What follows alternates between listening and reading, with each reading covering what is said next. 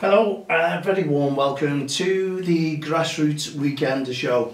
I'm Mal Lee, in case you don't know who I am, um, DXTL TV from the Touchlines, and also, excuse me, SoundCloud, which was played up a bit yesterday. So what happened, it done about 12 minutes of recording. For some reason, it switched off. I don't know what it is. I think someone, or I may have knocked it, stopped it, I don't know.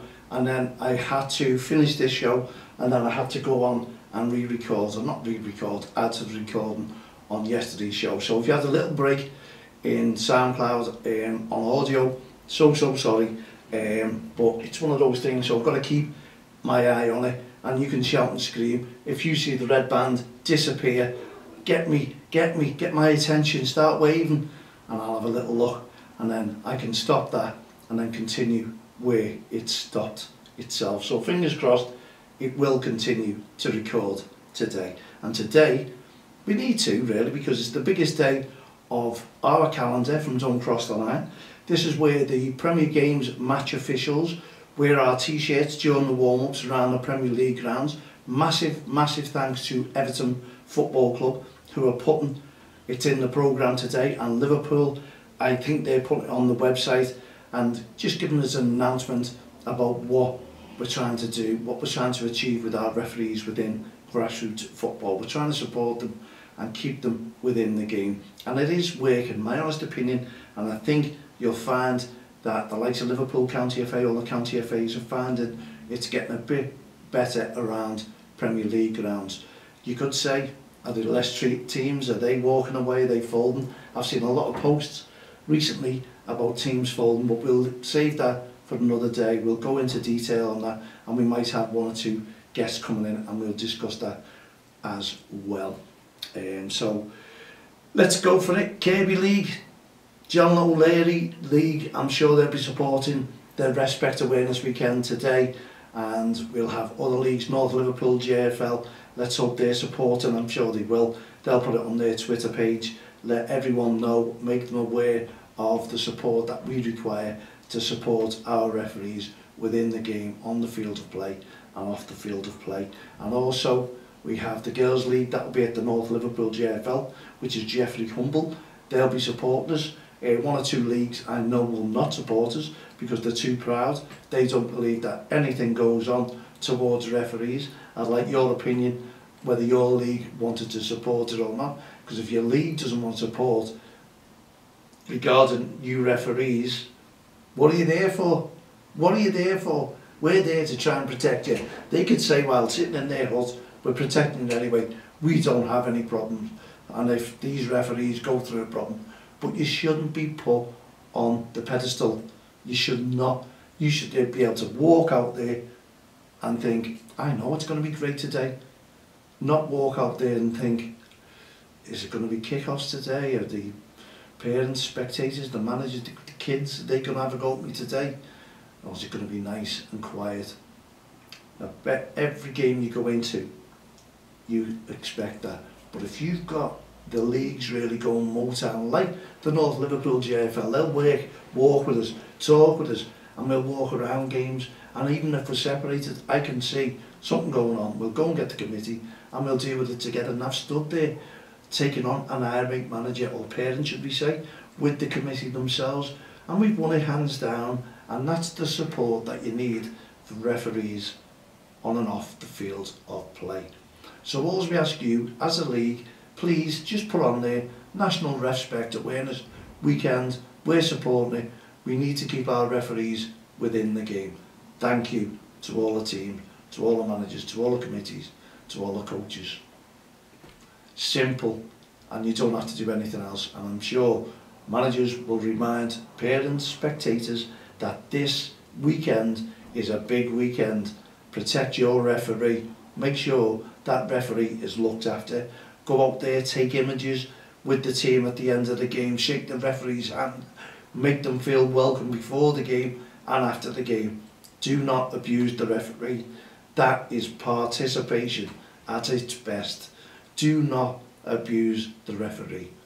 Attitudes make a difference on and off the fields of play. Make your good attitude count today. You need to. You need to.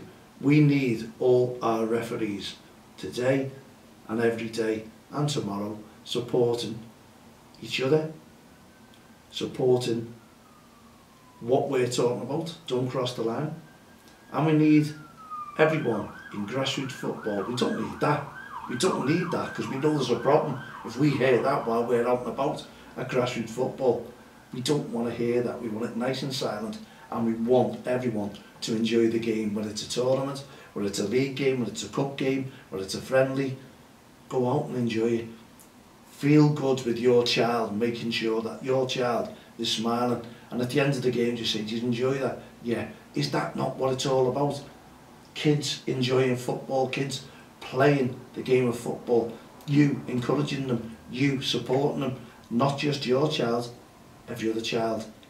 That's what it's all about. Because don't forget, they are teammates. They should be. They should be teammates working together, making a difference. And if they're enjoying what they're doing, that's the be all and end all, isn't it? With kids, with yourselves, with us, with everyone. And the coaches and managers can actually relax, sit back, take a back seat and say, fantastic. I really, really enjoyed this. Every moment we have had today and every day has been fantastic.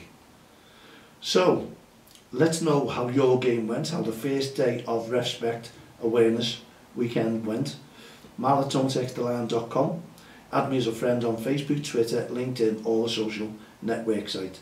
Let's see if grassroots football can go clean without cards, without sin bins, without yellow cards, red cards. We just said that, but the colour makes a difference, doesn't it? We want to hear more about our green cards, our green cards, which shows loads of respect on and off the field of play. Stick together, wear together, play together, and enjoy and laugh together. That's what we want to hear. When you go out there, you're still on your Easter holidays, and I know many teams are going to be short, including ours this weekend, because of holidays. What more could you do? And I think one sickness as well. But what can you do? You'd have to go on, grin and bear it, and make a game a special game if you can. Get involved, play, enjoy. That's what I like to hear. And make sure that you support your referee on and off the field of play. Don't argue, don't question them. If you do question them, make it friendly, make go out there as a manager or coach and then ask them the question and just say, fair enough, that's all I wanted to know. Not your parents, don't ask them to approach them unless it's all about thank you very much for refereeing officiating our game. It was brilliant. It helped the game flow, the teams enjoyed it, you had your the authority on show and you used it fantastic. That's it. It's lovely to know that you can go to watch a game and you know that the referee is there, but you don't look at the referee, you just watch the kids. And right the way through the game, that's it. Ignore that the referee is there. Don't start. If you hear the whistle, tell your kids to back off. Don't have your kids arguing with the referee either. That does not help any situation whatsoever. Kids as young as seven start answering back towards the referee, what's that for? Do you know what it's for? You shouldn't have to explain. The referee shouldn't have to explain. But I do like to see referees as well working alongside the kids. Talking to the kids and explaining, you do see a lot. That's for the foul, you shouldn't have done that, you should have backed off. Don't approach me like that, you stand away. Nice and friendly. Nice and friendly, that's the way you have to be. Kids will understand what you're doing. They'll enjoy it. Like when I referees as a manager the other week, kids were talking to me on the pitch. They're talking to you, you've got to answer them, you can't ignore them. Asking you questions. How long have you been doing this? And you're looking, you're thinking, get on with the game, go and enjoy the game. it's what kids are. They forget they're in a football match. They really do. It was enjoyable. It was hard work for the simple reason is I had to try and control the match. Yeah, I had to. It was mad. It was mad. But what more could you say? What more could you say? It's all about the kids enjoying the game and developing their skills. And it's all about the referees as well, enjoying the game and developing their skills too. I've been talking to quite a few referees and I always say to them, young referees who just starting, What do you want out of it? And obviously the first thing is obviously money because they're still kids themselves and you'd expect that. You expect that. But you ask referees, did he want to carry on, continue, get to the next level, make a difference, make a bigger game of it? And you, you know who's there, who wants to make a difference, who wants to take up officiating professionally. And there is, I think there's only one or two that I've talked to who want to take it further. Good luck to them. Callum Sutton is one, young referee, 15, 16, just going on 16 years of age. If he keeps it up, he's definitely going to make it.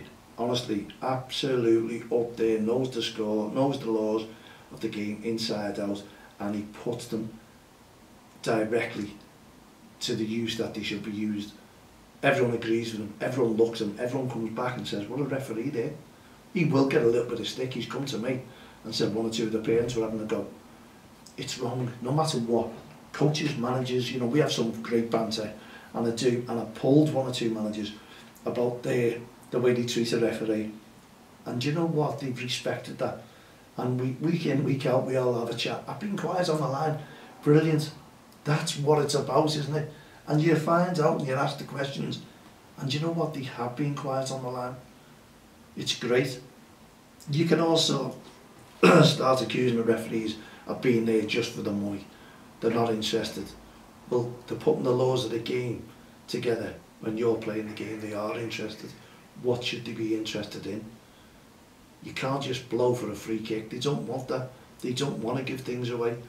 But if they have to, they have to. They only see what they see. Same as us. Same as us. And it's in real time. They get one go at it. There's no VAR, there's no playing back, there's no recordings. Or you might have a record, but it's not allowed by the way. you need special permission to film. And especially if you're filming a referee, say I've got it all on video and I'll show you the mistake after. You can't do it, not allowed. So that referee is not give you the permission to film him or her either. So before you go out with your camera, your phone, remember that. Remember that. And you see this as well when parents are fighting. You see it all over social media. It's plastered everywhere. But that person doesn't realise that. Someone could say, I know who sent that into you. I was stood there watching them film. You know, it works in roundabouts, doesn't it? And people start getting worried. So we have our consent forms about filming. If we're ever out and about and we want to film a referee or take pictures, we have consent forms that you can come to us and fill them in. That is the way to be because you need permission to film and you should have permission to film. You don't want referees being filmed or kids being filmed without the permission. If you can go up, or the managers and the parents, yeah, yeah, not a problem, because we use them the way they should be used on a website, the way it should be portrayed, kids in action. No. For any um, slandering, basically, that's what we don't want. Look at him, look at this tackle. That can't be used, it can't be put on social media. And I think the FA will clamp down if they see pictures on that. And we thank the FA, we thank the PFA, we thank the PGMOL, well, Liverpool, Everton, um, any of the Premier Leagues that have negotiated and, and done some um, sharing for the games for the Respect Awareness Weekend. And I suppose, you know, you're looking at this and, and Premier League clubs having a right go at referees. It makes you wonder, is there a reason why some of these Premier League clubs will not share what we're trying to do for a referee? Because they hold grudges and they say they're not getting involved in that. I don't know. I'd love to hear why some of the Premier League clubs and even the county FAs do not get involved with something that makes a massive difference. We're just portraying a message to support our referees and we know county FAs and we know Premier Leagues do things to help but we're not too sure about whether they help referees within grassroots football. Liverpool Football Club and Everton Football Club have been on board with us since 2003, going into 21 years. And it was thankfully they put in the programme Everton and also Liverpool being put on the website and social media. You can't thank them enough just to get the message, just to portray what we're trying to do within grassroots football. Give a message to everyone out there is when you're out and about like today, North Liverpool should have been fantastic. Kirkby JFL, Kirkby JFL, John Leary, Kirkby Lee, everyone should be singing off the same song sheet. And even Lostock, we know Lostock Hall, all their teams will be supported this week. Sheffield and District, Junior League, Sunday League will be doing exactly the same. Massive thanks to all of you. Everyone who's doing that, Bolton and District shared a post, our, our video. Share it again, get that out on your social sites. Get it out and let them say, wow, what a video. It just gives you that message that we want to portray. It's a unique message and makes a difference. That can be used week in, week out. Just come onto the link, tell them, there's the link, have a look at that video. Share it, get it going and release it. That's what it's all about. Making a difference. And now that we've had the views on YouTube, we are now about to release that video on some social media. So I'll send that to the FA, to the PGMOL, get them all sorting on it, get them all talking, and let them share and share alike. Get it on the social sites, get it on your media site. That's what it's about. Having a look at a video. Because I know some will not. We send the link to make it ours. Others will get that video on their, their post and claim and get all the hits that they can because it does make a difference and that will go worldwide I assure you. The video is there to make a difference. We want you to make a difference on and off the field of play. We want you to give the passion where it's due. We want you to support, clap as much and friendliness. But please, let's get on to the referees as well. If anyone saw the referees of the Premier League today wearing our t-shirts and took a picture, send it into mal@don'ttextline.com, social media, Facebook, put it all out, get it out, get the word out there. If you're a manager, a coach, a team, run the team, put the message out, look after your referee today, support your referee today, take a photograph, shake the hand of the referee, make a difference. Today, tomorrow, if you've got night games, friendly games, they go on till 10 o'clock in the hubs. Remember, if you've got a referee, it's about respect. Please, please. We'll give you more on updates about North Liverpool tomorrow, what we saw, um, and whenever your league is playing a game, remember, keep the bookings down. Team, support your referee today. That's all it's about. And what it's about, supporting your referee. We need your support. The National Respect Awareness Weekend, making a difference, making a massive difference. Portray it, support it, share the video, get the video liked, tell us what you thought of it, give your thoughts. We'll be doing more videos in the future. We'll be using Lauren, she's brilliant. But in the meantime, when you're out and about at a junior football game, or even amateur, the referee, honestly I've seen some of those referees in the amateur game, the stick that they do take, they need, wow, gold medals to say the least. Honestly, that is tough. It's tougher than the kids' games now because we have a lot of people walking around. People ask me why wouldn't you do the amateur games. I've done the amateur games, I've walked around and I've seen it. And boy, it's hard to make a difference there because everyone is really, really having a go. And I don't say just on Merseyside, this is all over the country. This is why it's a national respect campaign. And as I say, thanks to Daryl, thanks to the North, to the North Liverpool GFL All the Committee supporting the Kirkby League All the Committee there as well. The John O'Leary, Kirkby League, the JFA um, Football Club, they've been supported, they've done a fantastic job in supporting, they've got kits with respect on, same as DXTL, respect on there, people that start to stand up and be counted and make a difference and start wearing the kits. That's what they're trying to do to support our referees. So when you're out and about, and especially tomorrow, the Sunday leagues, please make sure that you adhere to the Respect Awareness campaign. And as I say, if you're out at a Premier League ground or even and you see an amateur referee wearing our t-shirts, photograph it, send it in, get on board with us, and you could be in, in a chance win a nice prize for your team. Please get in touch with Mal at don'textheline.com.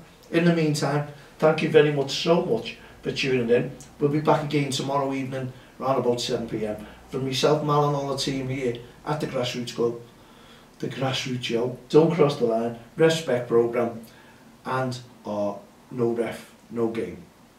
We'll see you tomorrow. Enjoy. Good night, God bless.